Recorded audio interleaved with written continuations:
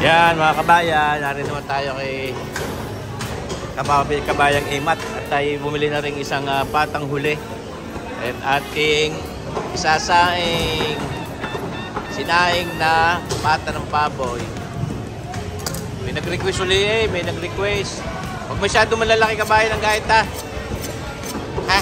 Ipax yung alat. Ha? Parang. Hindi, maliit-liit kabayan dahil sinaing. Yan.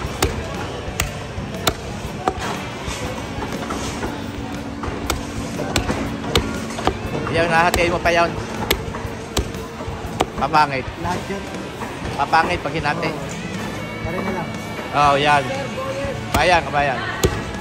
Yan. Yan. Sinaing na pata, lit-lit eh, laki. Malaki yan. Pagtatluin mo kabayan.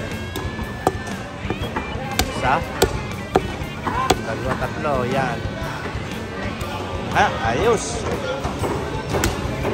Hiniri sa All Public Market. Mga kabayan. Batangas City. Satisfying. Parang kasarap din maggayat. Ano? Ikaw kayo nataga na kabayan na na na, na taganagang ang iyong kamay sa pagtatagtag. Marami bisis na. Hindi man nababawasan. Ah, ito na na malaking pakinabang ating mga kamay.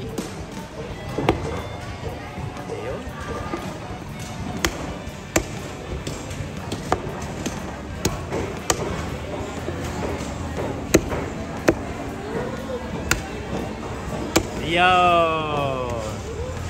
Ay, aray, nadidinin ako sa basay mga kabayan. No? Binigyan pa ako ng karikit na atay. At sabi ko ako magpapansate. Ay di aray, ating huhugasan na rin ating nabiling ano, patang huli ng baboy at ating isasaing na may kasamang shiitake mushrooms. Ayun, nako, eh, may twist mga kabayan. Yung una ko pinakita sa inyo dating gayaan, ang isinama ko ay tausin naman o black beans. Ngayon, ang ating sasama diyan ay yung ating tinatawag na shiitake! Shiitake mushrooms. Ayun, mga kabayan. Ay, kita nyo ba gaya? Ay, sariwa-sariwa din naman yung nabili nating patang huling yan. O totoo si maganda rin ho yung patang huling yan. Uy, malaman. Marami din hong laman yan, mga kabayan. Yan how. Masugasan lang natin maigid. Siyempre, yan ay pata. Ay, di dapat malinis na malinis, mga kabayan. Hindi maya maya nakarikiti ating patitigisin din at ating imamarinate yan at ating bababad sa ano. Sa lang naman, mga kabayan. Ngayon, sinaing naman ang gagawin natin luto diyan. Ayan ha, mga kabayan. Basta ating hugasan lang maigi at yun ating patitigisin ngayon diyan sa ating salaang iyan. Ha, yung strainer na yan. Oh, tunay na mga para pwede na. Ay, huwag dito lang. Ito, sumursipaw. Mga kabayan. Ari, ano, ay, tanongin marami, nagtataka, pata ng babaw, isasaay, kabay bakay. Okay, pero yun, lagi lang ang gusto gawin mga pakseo, mga nilaga, ay isaing natin na mapurbahan ninyo mga kabait, napakasarap din. Para magsasaing din lang tayo ng isda yan ha, ating lalagyan ng asin at ibababad muna natin din ng mga isa hanggang isa't kalahating oras ay pwede na yan ha, mga kabayan. Maalat-alat din ang karikit ang pagkakapagtimpla natin din ang gagawin dahil siyempre halos parang pagpapatisan din lang natin niya hindi to maraming sabaw. Hindi naman nga ho yung paksiw na pata ng baboy. Sinaing. Yan ho mga kabayan. Ito itong ating gagamitin.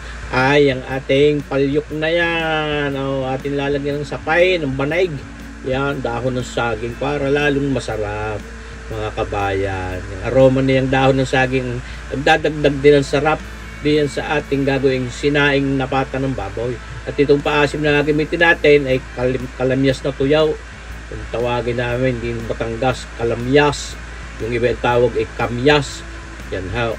Maglagay muna tayo ng karikit doon sa ilalim at iya, ilalatag na natin itong ating pata ng baboy diyan sa loob ng ating palyok na yan. Mga kabayan. Oh, ito na naman ha. Sabi ko sa inyo. Aray subukan ninyong gawin lutong aray at panalong panalo hindi mapapahayasan napakasarap mga kabayan eh, pwede mong ipang ulam, pwede rin pulutanin. Aba, pwede, mga kabayan. Pagka gugustuhin, baga. Oh, lalagyan pa rin natin ng karikit pang kalamyas na tuyo sa ibabaw. Huwag naman pakakaramihan din. Mga katumbas lang, mga dalawang kutsarang ano. Yan, kalamyas na tuyo at ayos na. Hindi rin maganda sinaing na papagay pag sobrang asim. Kaya tinalagyan na lang sabaw ng tubig. At yan siyempre, yan yung pata ng baboy. Kailangan marami-rami munang sabaw yan. At yan palalambutin natin diyan. Ha, sinalang na natin diyan sa ating magikalan. Nakaw. So, sabi ko sa inyo, kayo yan na makasubok na. Yan na, kulo na yan, nabulak na. Mga kabayan, at pinabibilis lang ang video nang sagay hindi kayo mainip. Oh, maya maya ng karikitse, mapapahaplas na rin sa hapag ng ano, kung sa hapag baga ng lantakan o sa hapag ng barikan. Ngayon, ito sinasabi ko sa inyo, habang tayo nagpapalambot ng ating pata ng babaw, itong ating shiitake mushroom. Yan ho, shiitake mushroom. So, may, may guyam, may guyam. Yo, bahala ka ngayon. Baka lulog ka. Oh, para hara ka diyan ay. Yan how ating ilagay muna diyan sa ating mangkok ngayon at yan eh ating tatanggalin din yan sa baonet. Hindi natin isasama doon sa ating pagsasaing ng pata ng baboy. Naku, ito na itong lasa nito, ang aftertaste niyan sa ating sinaing na pata ng baboy, yung twist. Ay nako, sabi ko sa inyo mga kabayan, panalong panalo. Ngayon, ating bibisitahin, tanhaw, patuloy, lapalambot ng palambot yung ating pata ng baboy at sasahog na natin itong ating shiitake mushroom. Shiitake, gandang lalaki. Ano yan? Pelikula lang yan. Sino nakapanood na ah? Ah, sayang naman eh, nawala agad si Kabaya rin ni Ricky tas eh, nautas agad. Kagaling din komedyante. Yun, mga kabayan. Ayan how, edi ating uh, pakukulan din yan, papagayaan. At syempre, lalagyan natin ng karikit na toyo para tumingkad ang kulay noong pinakapatis natin. Mga kalahating kutsarita lang, lang, hindi, ano, hindi naman para lumasayaan, at ay para magpadagimlaan ng karikit na kulay. Isa pa yung ating shiitake mushroom na yan, ay kahit pa paano ay magdadagdag din ng ano, ng kulay dun sa ating magiging patis. Sauce, marsipaw, tawarin. Ah, naman ba yung ship for fright?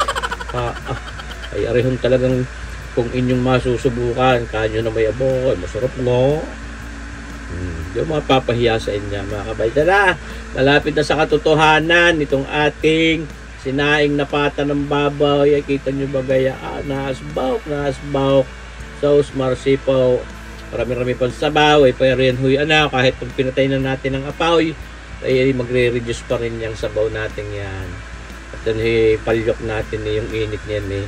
Kahit wala ng apoy eh, mainit pa rin. Kaya, tamang-tama lamang yung ginamit nating sabaw niyang ating sinaing na pata ng baboy na may shiitake mushrooms. O, di ba gaho? Ay, kita niyo ba ganyan mga kabayan? Ayaw, takpay. At yan, ipangin na lang ang karkit. Pinatay ko ng apoy. At yan na. Oh, malakas pa rin ang kutaw kung tutuusin. Sabi ko sa inyo. Oh, hanggang mag-reduce pa yung ating pinakapatis niyan. Ako nga, hindi ito napakaraming sabaw dahil hindi naman yun yung ating paksiw na pata ng baboy. So, ito na mga kabaya. Pag hindi ka napa-unli-rice dinay, pag inilantakan, eh, ewan ko naman. Pag hindi ka napa-unli-barik dinay, pag eh, yung ano, nilantakan sa barikan, eh, sauce. Kasarap naman niya. Eh, kuwento ko lang sa inyo yung aking inay. Aba, ay gustong gusto, nakatatlong hingi sa akin eh.